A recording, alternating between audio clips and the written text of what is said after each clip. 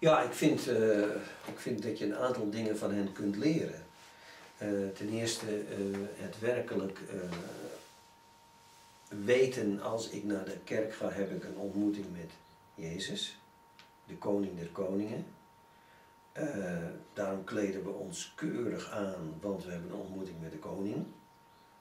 Ik weet wel dat God niet kijkt naar het uiterlijk, maar als ik zie hoe wij hier vaak in onze gemeentes erbij zitten, en dan de koning staat te aanbidden, dan denk ik, nou ja, goed, kan er ook wel een beetje, een beetje net eruit zien. Hè? Je hoeft voor mij niet speciaal in pak, maar ik bedoel, je kan ook wel, je gaat toch de koning ontmoeten. Ik bedoel, iedereen, hè? als je de koningin ontmoet, ga je toch ook niet in je, in je spijkerbroekje en een shirtje. Hè? Nou, ik vind dat deze mensen meer eerbied hebben voor God.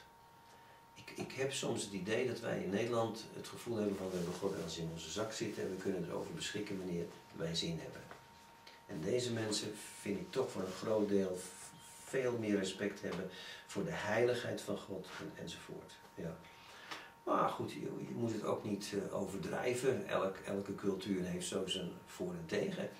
Maar toen ik op Trinidad uh, bekeerde Hindoestanen uh, tegenkwam en gesprekken met hen had, toen zeiden ze ook van, wij zijn altijd maar eens opgestaan om vijf uur om onze goden te aanbidden. Zouden wij dan voor de Heer, de Heer eens maar om vijf uur opstaan om hem, tot Hem te bidden? Nou, dat vind ik fantastisch. En ik denk niet dat wij dat zo makkelijk hier in Nederland terugvinden met wat uitzonderingen uh, daar gelaten. Ja, dus we kunnen, we kunnen van ze leren dat, uh, dat ze meer met de Heer bezig zijn. Ik vind het ook heel mooi, bijvoorbeeld in Zuid-Amerika heb je het ook heel erg, dat de kerk alle avonden open is. Alle dagen. Je kunt daar komen. Dus niet, hoeft niet eens altijd een programma te zijn, maar je kunt altijd mensen ontmoeten, je kunt altijd praten. Uh, er is vaak wat apart voor jongeren, apart voor dit. Maar de kerk is, is, is het middelpunt van het hele gebeuren. Nou, vind dat nog maar eens in Nederland. De kerk hangt erbij, op zondag gaan we naar de kerk. En het is heel moeilijk om in Nederland mensen door de week uh, in beweging te krijgen. Hm. Maar in, in, in de West-Indies was het zo, het is ook wel iets aan het veranderen nu, maar het was wel zo dat de mensen die zondags kwamen, kwamen ook voor het allergrootste deel op een enkeling naar, naar de Bijbelstudies toe. Ja. Want dat was een onderdeel van de gemeente. Nou, als je in Nederland kijkt, zie je zondags nog wel een volle bak, maar door de week zie je een, groepje. Ja, dus het is wel een verschil, ja. ja. Stel, ik, uh, ik wil, uh, na dit verhaal wil ik daar wat aan gaan doen hier in Nederland. Dan wil ik eigenlijk uh, dat kopiëren vanuit dat die, dat die gebieden. Denk ik dat u mij uh, daartoe in staat acht? Of is dat. Mensen zien jou niet. Maar ik denk dat als jij binnen jouw cultuur uh, dat zou proberen, dat je daar meer voor elkaar krijgt dan binnen eh, de Nederlanders zelf. Omdat ik toch ook bij Surinamers bijvoorbeeld enzovoort toch wel, als eenmaal behoren tot de kerk ervoor gekozen hebben, ook makkelijker door de week bereid zijn om dingen te doen. Um, wat we in Nederland toch heel erg zien, en dat weet ik niet hoe we daar doorheen moeten komen, is op zondag gaan we naar de kerk. God is er op zondag, maar de rest van de week vullen we in met sportevenementen, met dit, met dat. We hebben overal tijd voor, maar niet om samen ook nog eens naar de Bijbelstudie te gaan en het evangelie nog eens te beleven. Of daarin te groeien op een aantal mensen na, die, die het wel doen. Maar als je rekent, een, gemeente kan groot zijn, dan ga je eens kijken welk percentage nog meedoet aan door de activiteiten. Dan is dat verhoudingsgewijs uh, klein.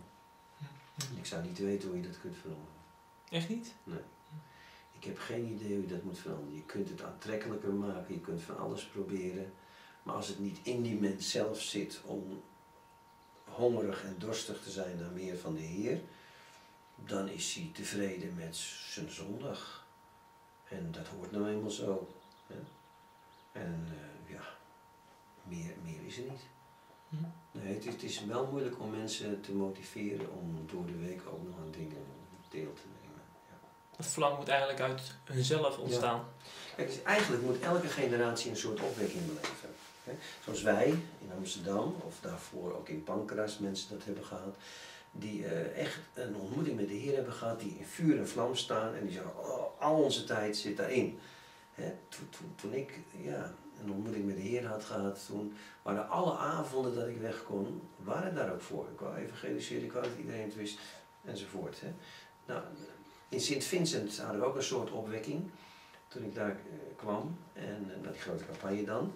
Maar je moet je voorstellen dat de dienst begon s'avonds om 7, 7 uur of zo. Maar vanaf 5 uur zat de kerk al bomvol. Zaten mensen al spontaan te zingen enzovoort. In verwachting wat er allemaal ging, komen. Nou, voel je, dat is een hele andere atmosfeer als in Nederland, waar men als de dienst om 10 uur begint, om uh, 1 minuut voor 10 keihard komt binnenrennen of nog iets later. En daar zitten we dan. Maar echt opwekking meemaken is natuurlijk prachtig.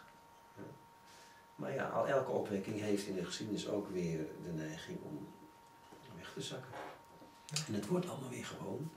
Het is ook moeilijk natuurlijk om ja, altijd hetzelfde enthousiasme te houden. Dat, dat, begrijp ik ook wel.